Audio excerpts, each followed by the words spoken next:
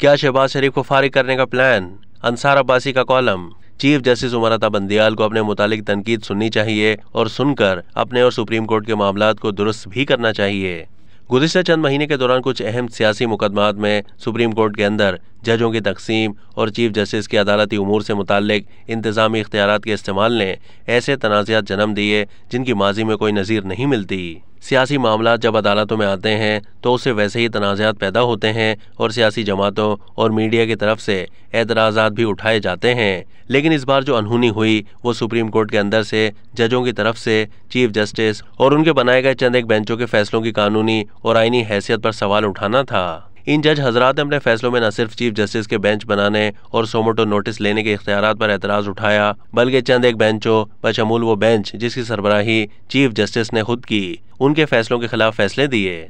Supreme court के अंदर की इस तकसीम और चीफ जस्टिस के इख्तियार और उनके अदालती उमूर से मुतक मामला पर सुप्रीम कोर्ट के अंदर से जजों की तरफ़ से एतराज़ात ने सियासी मुकदमा से मुतल तनाज़ात की शिद्दत को इतना बढ़ा दिया कि चीफ जस्टिस और उनके तीन साथी जजों के इस्तीफ़ों का मुतालबा ज़ोर पकड़ने लगा। चीफ जस्टिस और दूसरे कुछ जजेस के बारे में ये बात आम कही जाने लगी कि वो सियासी मुकदमात में तहरीक इंसाफ के हक में फैसले देते हैं और दूसरी सियासी जमातों के एतराज़ा के बावजूद सियासी मुकदमात से अपने आप को अलहदा नहीं करते। वज़ीर अजम शहबाज शरीफ, उनके वजरा और हुक्मरान इतिहाद में शामिल जमातों के रहनुमाओं की तरफ़ से भी चीफ जस्टिस और उनके चंद हम ख्याल जजों को हदफ तनकीद बनाया गया।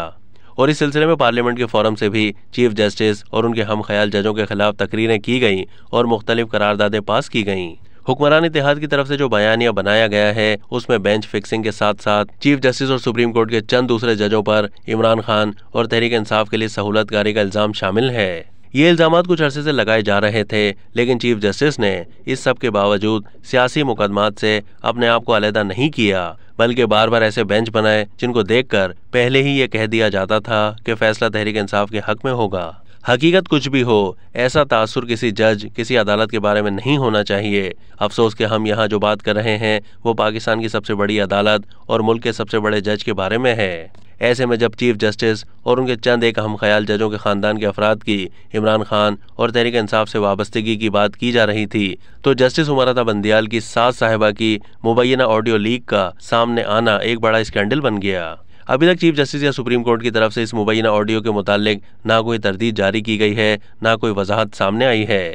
इस मुबैना ऑडियो में चीफ जस्टिस के साथ साहिबा, सीनियर वकील ख्वाजा तारिक रहीम की अहलिया को इमरान खान के जलसों में लाखों अफराद की शिरकत का हवाला देते हुए बताती हैं कि उन्होंने उमर को फ़ोन पर पैगाम भेजा कि लाखों लोग उनके लिए दुआएँ कर रहे हैं। ऐसा ही पैगाम एक और जज साहिब को भेजा गया। इसी मुबैना ऑडियो में तहरीक इंसाफ के मुखालफिन को कोसा गया और इस मायूसी का भी इजहार किया गया। वो कम वक्त मार्शल लगाने को भी तैयार नहीं। इससे पहले भी कई मुतनाज़ ऑडियो लीक सामने आ चुकी हैं, लेकिन किसी ऑडियो पर ना सोमोटो लिया गया, ना फॉरेंसिक हुई और ना ही शफाफ तहकीकात। लिहाजा इस मुबैना ऑडियो के मुतालिक भी मुझे किसी किस्म की इंक्वायरी की कोई उम्मीद नहीं, लेकिन मैं चीफ जस्टिस साहब से ये दरख्वास्त ज़रूर करता हूँ कि वो कम अज कम अब अपने आप को सियासी मुकदमा से अलहदा करें और बेंच बनाते वक्त भी इंसाफ के तकाजों को पूरा करें।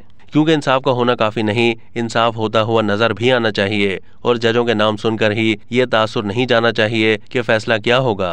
अब तो सबक, चीफ जस्टिस साकिब डिसार और ख्वाजा तारिक रहीम की भी एक ऑडियो लीक सामने आ चुकी है, जिसमें वो मुमकिन तौर पर वज़ीर अजम शहबाज शरीफ को तोहन अदालत के केस में फारिग करने की बात कर रहे हैं, जिस पर वज़ीर कानून का कहना था कि तोहन अदालत का पर्चा वक्त से पहले आउट हो गया।